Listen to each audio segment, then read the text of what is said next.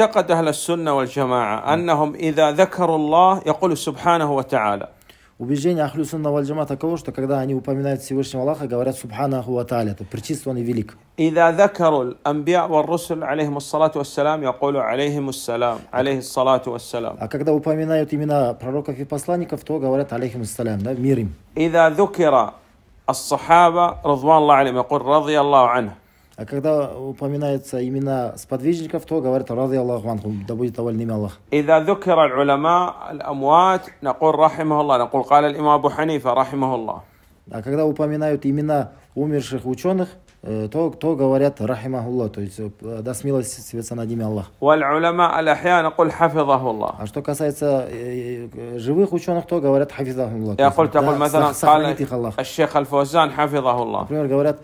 شيخ الشيخ الفوزان حفظه الله. ده خرينتي والله. بهذا أنت تعرف أن هذا يعني هو يترضى عن الصحابة هو لا يسب الصحابة هذا معتقد.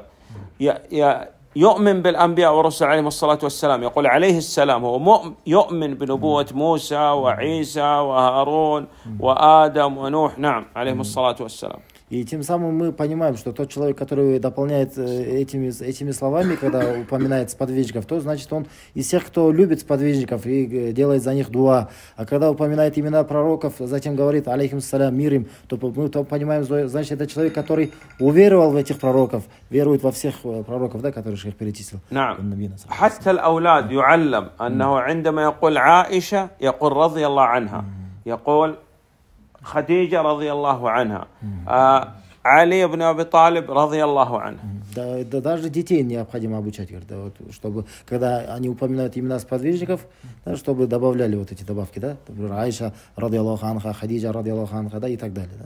نعم